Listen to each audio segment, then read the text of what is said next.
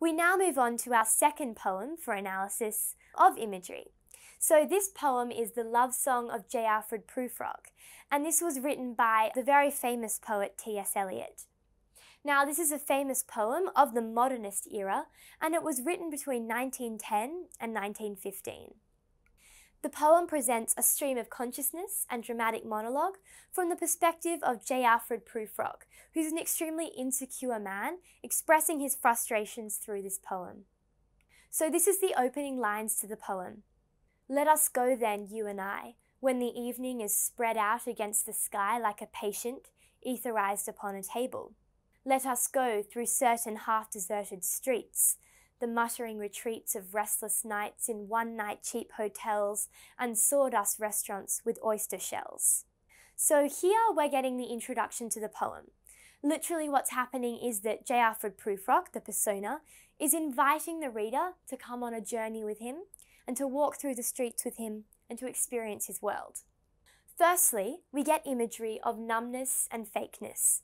So the patient etherized upon a table and the half deserted streets.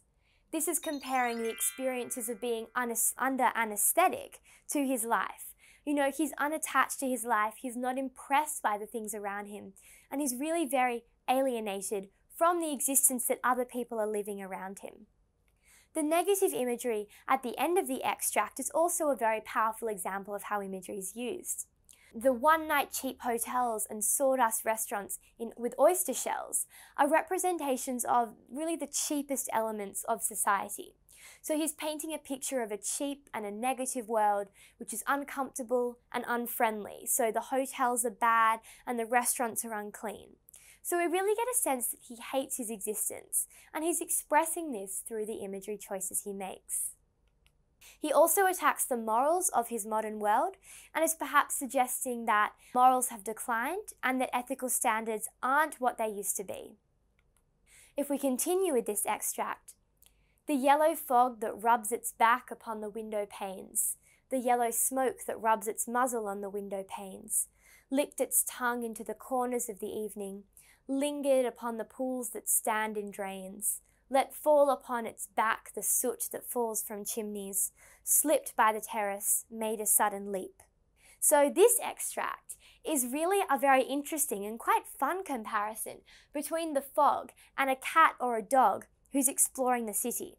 So, um, you know, like a cat or a dog rubs up against things, the fog is also rubbing against things and exploring every single surface of the city. So, it's very invasive. It's really intruding on his life. This is a very invasive, harsh image expressed through the repetition of the rubs and also the repetition of the yellow in the fog and the smoke. So, that very harsh, negative image. Um, the extensive imagery of the urban environment at the end of this extract is also a testament to the artificial aspects of the industrial life which he experiences. So, the pools that stand in drains, and the soot in the chimneys, and the terraced houses around him he sees as not being realistic and not being genuine. He sees them as artificial constructs in a really fake and unpleasant world.